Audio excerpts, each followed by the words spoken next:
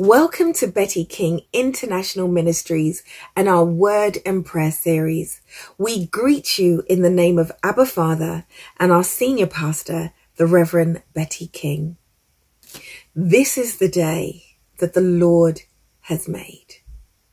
We will rejoice and be glad in it.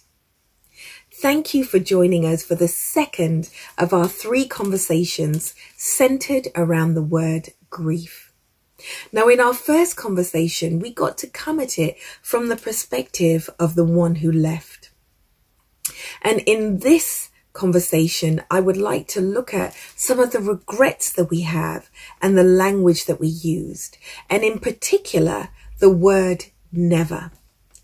Now, if we were to look at the biblical definition of the word never, it reads, in the Old Testament Hebrew, the word never means a ceasing, an end, a finality, while in the New Testament Greek, nevertheless means to mark a transition to something new.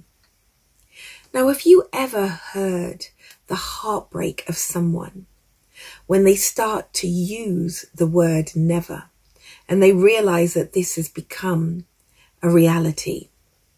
And they say things such as, I will never be able to say the words, I love you, and hear them say it back. I will never be able to say, I'm just going to pop round and see you and have them open the door and the surprise that washes over them. We will never be able to say, Hey, let's just go on vacation and know all the memories that we're going to have based on that meeting.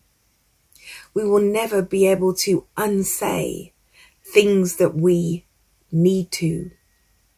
And we will never, ever be able to right some of those wrongs. You see, the word never leaves us with so many unanswered questions.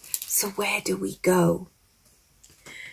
If you turn with me to John chapter 16, verses 5 through 7, in the New King James Version, it reads, But now I go away to him who sent me, and none of you asks me, Where are you going?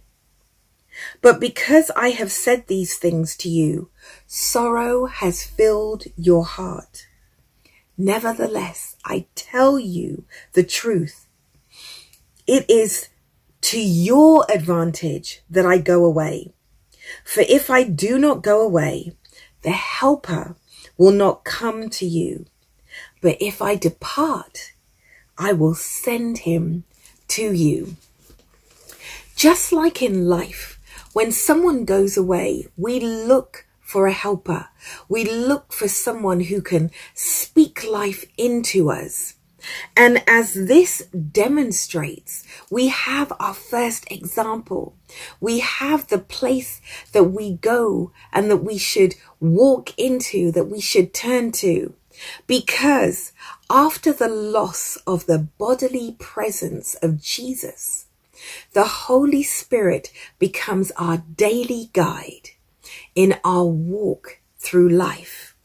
So while we may not ever get those questions answered again, we know that someone has been sent as a comforter to stand in the gap. They will be our advocate. They will be our intercessor. They will be our prayer warrior. They will speak life into us if we just listen. So how do we do that? If you would allow me to, I'd like to walk into our prayer for today, which is John chapter 16, verse 12 through 13, using the New King James Version. And it reads, I still have many things to say to you, but you cannot hear them now. However, when he, the Spirit of truth, has come, he will guide you into all truth, for he will not speak on his own authority, but whatever he hears, he will speak, and he will tell you things to come. How fantastic is that? I just pray that in your quiet time that you used the verses that we just spoke to to comfort you, to let you know that there will always be someone, the Holy Spirit, who is waiting for you to pray so that he can speak into you and guide you on your path.